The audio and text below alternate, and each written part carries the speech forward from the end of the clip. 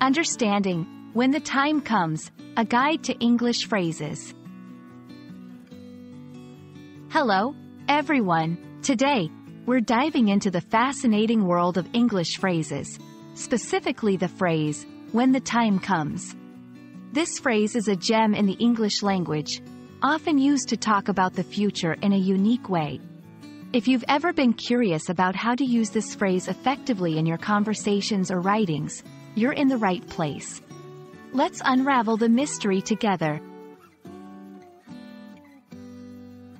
The phrase, when the time comes, refers to a future point in time when a specific event is expected or destined to happen. It's used to talk about a situation or action that will occur in the future, but the exact timing is not specified or known at the moment.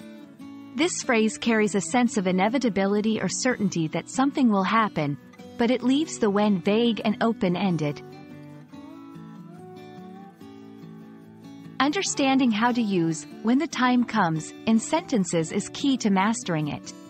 Here are some examples to show its versatility. Planning for the future, we'll decide on our next move when the time comes. Expressing readiness for future events. I'll know what to say when the time comes. Indicating a future decision or action. You'll understand why I made this choice when the time comes. These examples illustrate that the phrase can be used in various contexts, from making decisions to expressing confidence about handling future situations. While, when the time comes, is a useful phrase, it's important to avoid common mistakes when using it. Do not use it for past events. It's exclusively for future situations. Avoid being too vague if the context requires more specific timing.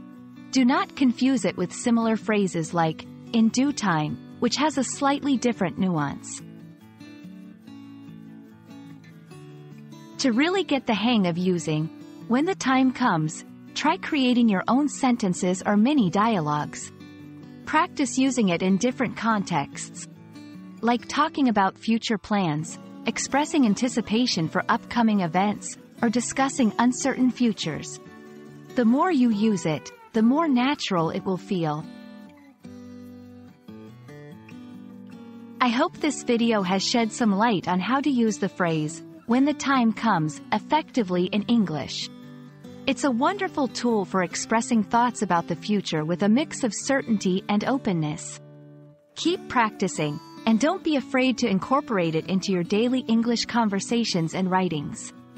Thank you for watching, and see you in the next video.